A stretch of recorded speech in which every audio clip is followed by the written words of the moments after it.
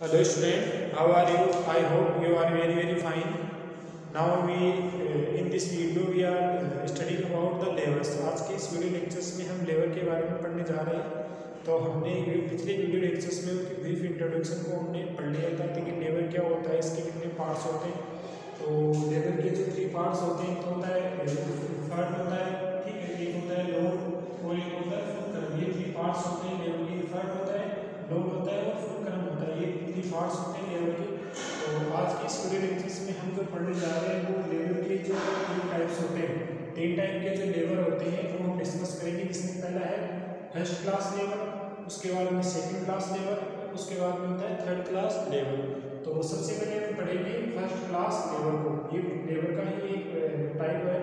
ٹھیک ہے۔ When the fulcrum is between the load and front جو فرسٹ کلاس جو لیول ہوتا ہے، اس میں کیا ہوتا ہے؟ جو فلکرم ہوتا ہے، ٹھیک ہے؟ تو ٹھیک ہے، وہ کہاں ہوتا ہے؟ But between the load and effort تو لوڈ ایفرٹ کے بیچ میں ہوتا ہے it is first class lever تو اس کو کیا بولتے ہیں؟ فرسٹ کلاس لیول جیسے یہاں پہ ہم یہ تو ہم ایفرٹ کر رہے ہیں مطلب کچھ کسی چیز کو ہم ایسے ایفرٹ کر رہے ہیں مطلب وہاں پہ ہم انرجی لگا رہے ہیں۔ اور یہ لوڈ مطلب کیا ہو گیا؟ کچھ وزن ہو گیا۔ اور یہ فلکرم کا مطلب کیا ہو گیا؟ کوئی جہاں پوائنٹ ہو گیا، جہاں پہ یہ جو ہمارے پاس جو لیول وہ فکس رہتا ہے، اس کو ہم فل کرم بولتے ہیں۔ ٹھیک ہے، اور ایفرٹ کا مطلب ہم جتنی انرجی اس کو لگا رہے ہیں، تو یہاں پہ جیسے سپوز کوئی سامان وغیرہ اٹھائیں گے، تو یہاں رکھیں گے۔ یہ یہاں پہ اس والا جو اینڈ ہے، جہاں پہ یہ لیول فکس ہے، اس کو ہم فل کرم بولتے ہیں۔ یہاں سے ہم اس کو انرجی لگا رہے ہیں اٹھانے کے لیے۔ تو اس والے جو ٹائپ کے جو انسٹرومنٹ ہوتے ہیں، ان کو ہم کیا بولتے ہیں؟ فرسٹ کلاس لیول جیسے فار ایگزامپل ہو گئی یہ کیچی وغیرہ ہو گئی فرسٹ کلاس کا لیول ہو گیا۔ یہاں سے تو میری فٹ لگا رہی یہ فن کرم ہو گیا اور یہ یہاں پہ لوڈ ہو گیا۔ ٹھیک ہے، یہ فرسٹ کلاس لیول کا ایگزامپل ہو گیا۔ اب ہم ڈسکس کریں گے سیکنڈ کلاس لیول کا ایگزامپل وین دا لوڈ جب اس میں تو کیا ہو رہا تھا کہ فن کرم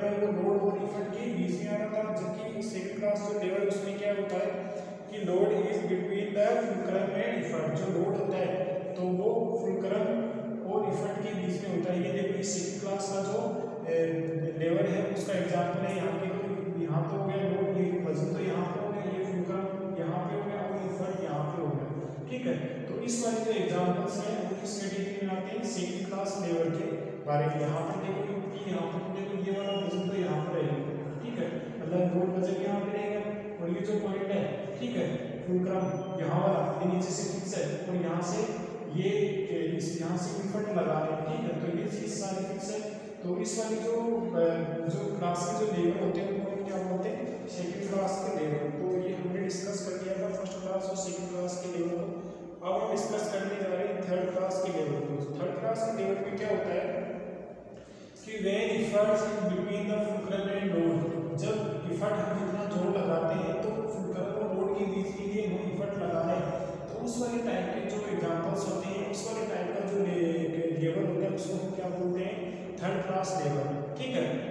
فور ایگزامپلس ہو گئے فشنگ روڈ ہم جیسے فشنگ روڈ کا ہوتا ہے کہ جو مچھلی پکڑنے میں جو روڈ ہوتے ہیں، اس کو ہم بولتے ہیں third class lever and ice top ٹھیک ہے آئس کو جو اٹھانے والی جو چمٹی ہوتی ہے، وہ ڈویژن ٹھیک ہے یہ چمٹا وغیرہ ہوتا ہے، ٹھیک ہے، تو اس ٹائپ کے جو ایگزامپلس ہوتے ہیں، وہ کس کٹ کے لیے آتے ہیں تھرڈ کلاس لیول پر تھرڈ کلاس لیول میں کیا ہوتا ہے کیا ہوتا ہے کہ فوڈ اور روڈ ٹھیک ہے، تو ان کے بیچ میں کیا ہوتا ہے؟ ایفرٹ تو اس ان کو کلاسیفائی کر سکتے ہیں کی فل اور گولڈ کی بیچ میں ایفرٹ آ رہا ہے تو تھرڈ کلاس لیول کیٹیگری میں ہو جائے گا۔ وہ ایگزامپل کس کا ہو جائے گا؟ تھرڈ کلاس کا۔ ٹھیک ہے۔ اب ہم ڈسکس کرنے جا رہے ہیں کہ ہمارے پاس انکلائن نیم ٹھیک ہے۔ انکلائن کا مطلب کیا ہوتا ہے؟ کوئی جیسے دھان جیسی اسٹرکچر ہوتی ہے، ٹھیک ہے۔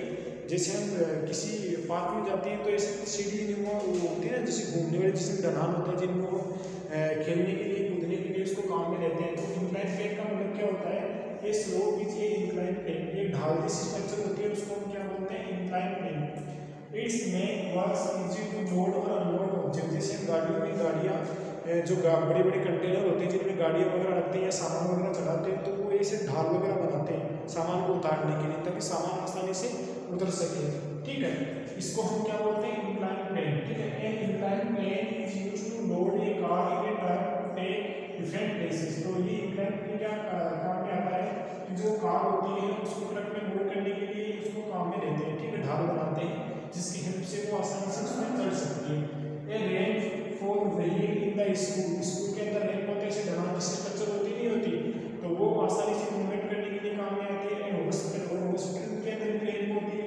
تو وہ ایگزامپل ہوتا ہے ایک امپلائی بینک کا ایک ہاتھ اسٹرکچر ہوتی ہے، جس میں وہ آسانی سے چڑھ سکتے ہیں۔ ٹھیک ہے یدی سیڑھیاں رہے گی تو ہمیں چڑھنے میں بہت زیادہ پرابلم آئے گی اور بہت زیادہ فورس لگانا پڑے گا۔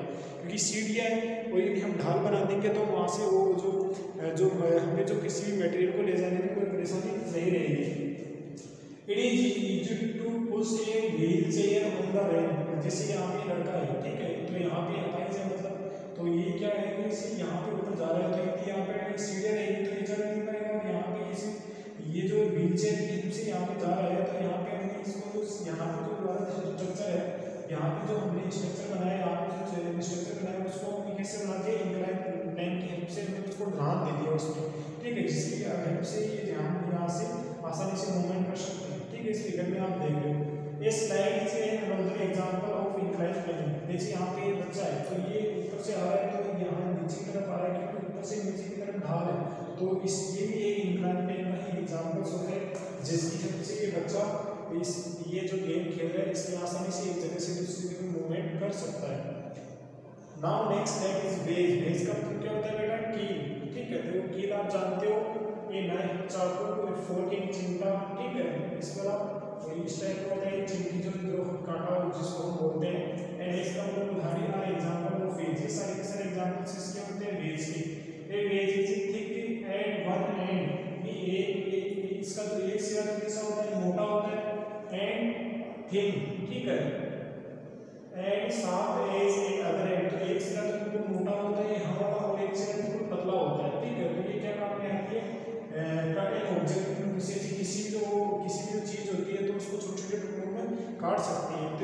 یہ اس کا ورک ہوتا ہے اس کا ویج کا تو ویج ایک ویج کا ایک کنارہ تو بالکل موٹا ہوتا ہے اور ایک کنارہ بالکل چھوٹا ہوتا ہے تو ویج کے کام میں آتی ہے کہ جو چھوٹے چھوٹے کسی بھی جو چیز ہے اس کو چھوٹے چھوٹے ہم پیس کرتے ہیں پیس کر سکتے ہیں اس کے چھوٹے